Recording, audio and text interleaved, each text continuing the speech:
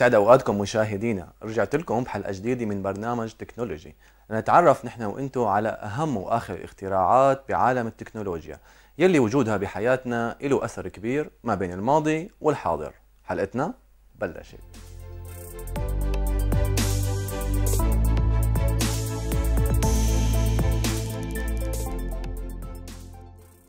ورجعنا لكم من جديد مشاهدينا وبأولى فقرات حلقة اليوم فقرة اختراعات التكنولوجيا. واخترنا لكم اليوم أحدث اختراعات شركات التكنولوجيا. تخيل أن تتمكن من التحدث إلى أي شخص في العالم بلغته الأم دون الحاجة إلى تعلم لغة جديدة. هذا بالضبط ما يقوم به مترجم الأدمغة وهو جهاز قادر على ترجمة أفكارك مباشرة إلى لغة أخرى. يعتمد مترجم الأدمغة مشاهدين على تقنية جديدة تسمى الذكاء الاصطناعي للترجمة العصبية. تعمل هذه التقنية عن طريق تحليل دلالة اللغة وبنيتها ثم إنشاء ترجمة دقيقة وسلسة. يفعل ذلك عن طريق إنشاء شبكة عصبية اصطناعية يتم تدريبها على مجموعة بيانات ضخمة من النصوص المترجمة. تعمل الشبكة العصبية مشاهدين على إنشاء علاقات بين الكلمات والعبارات في اللغات المختلفة ثم تستخدم هذه المعرفة لإنشاء ترجمات جديدة. سيوفر هذا الجهاز مشاهدين فرصة هائلة للأشخاص الذين يعملون في المجالات الدولية أو الذين يسافرون كثيرا أو الذين لديهم أفراد عائلة يتحدثون لغات مختلفة.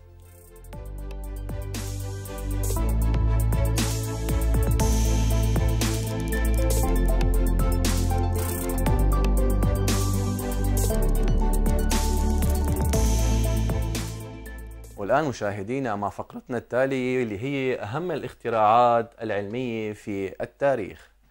شهدت عقود القرن الماضي عددا من الاكتشافات المهمة التي نقلت البشرية إلى مستويات متقدمة في جميع مجالات الحياة. ومن أهم هذه الاكتشافات مشاهدينا البنسلين. قضى العالم ألكسندر فليمينغ حياته العلمية بحثا عن مركبات مطهرة جديدة لعلاج العدوى. وفي عام 1928 غادر العالم مختبره الكيميائي لقضاء العطلة. وعندما عاد لاحظ نمو العفن على بعض المستعمرات البكتيرية الموجودة في مختبره. لكن الملاحظة كانت في اختفاء المستعمرات البكتيرية في أماكن نمو العفن. ومن هنا كان البنسلين أول مضاد حيوي وأهم الاكتشافات العلمية الفارقة في تاريخ الطب الحديث. خلال الفترة الواقعة بين عامي 1920 و 1929 ميلادي.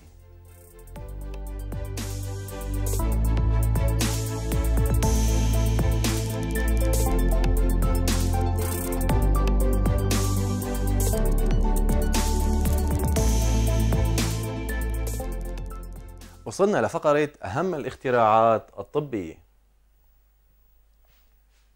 وبهي الفقرة رح أحكي عن مقياس الحرارة.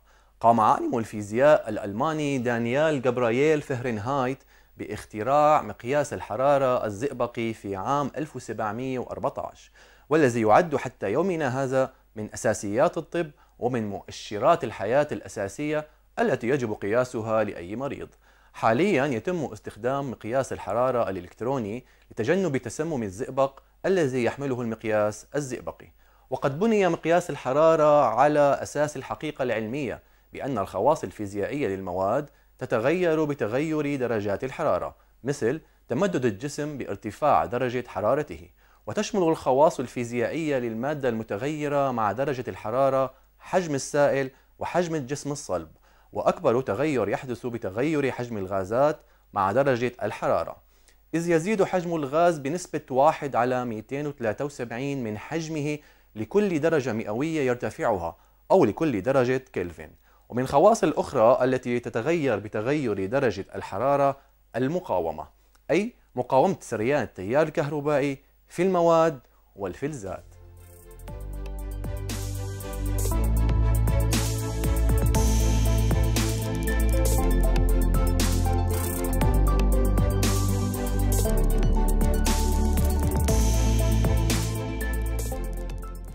حلقتنا لسه ما خلصت؟ وهلأ مع فقرة أحدث الاختراعات واخترنا لكم اليوم مشاهدينا طب أسنان أكثر دقة.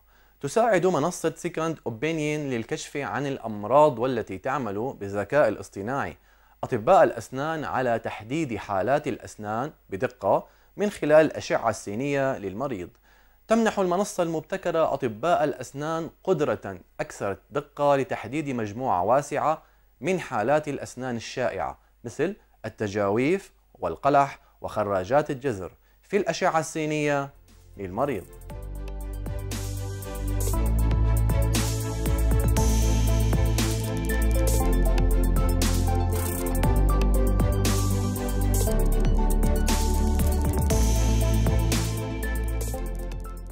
وصلنا معكم لفقرة اختراعات غيرت العالم.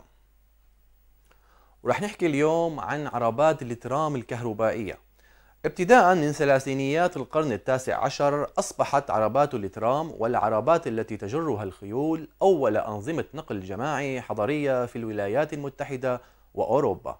بعد ذلك في عام 1881 بنى المهندس الألماني فرينر فون سمينز أول ترام يعمل بالطاقة الكهربائية في ضواحي برلين تلقى محرك الترام بقوة 10 أحصنة الطاقة من الكابلات العلوية ويمكنه نقل 50 راكبا بسرعة قصوى تبلغ 12 ميلا في الساعة.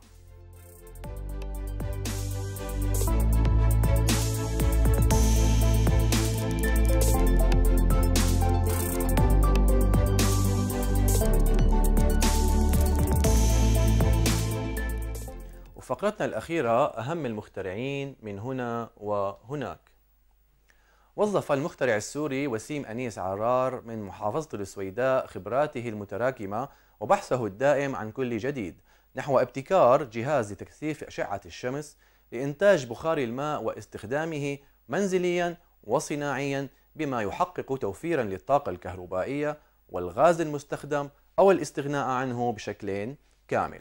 وأوضح المخترع عرار أن الجهاز هو تطوير فكرة السخان الشمسي المستخدم حاليا ويتكون الابتكار من مرايا مقعرة ولوحة إلكترونية تضم محركين لتتبع أشعة الشمس ولإعطاء أوامر بالتحرك باتجاهها. وكذلك جهاز لاستقبال الأشعة يحوي على مرجل للبخار وساعة ضغط وحساس وصمام أمان وأنابيب نحاسية مفرغة من الداخل. يتم نقل الحرارة عبرها إلى مكان الاستخدام المطلوب لافتا إلى أن الجهاز يتم وضعه على أسطح الأبنية أو شرفات المنازل ويكون فيه ضغط البخار مرتفعا بدرجة تصل إلى 6 بار. ما ابتكره عرار مؤخرا يضاف إلى اختراعات عدة له أنجزها بالفترة الماضية وتمثلت كما ذكر بحساس لأجهزة التنفس الصناعي لقياس تدفق الهواء باستخدام تقنية البيزو الكهربائية الانضغاطية. وكذلك جهاز لصناعة الأدوات الدقيقة مثل البراغي وتصنيع قوالب الذهب والبلاستيك وجهاز للكشف عن الأمراض التي تصيب الحبوب من خلال تقنية الليزر.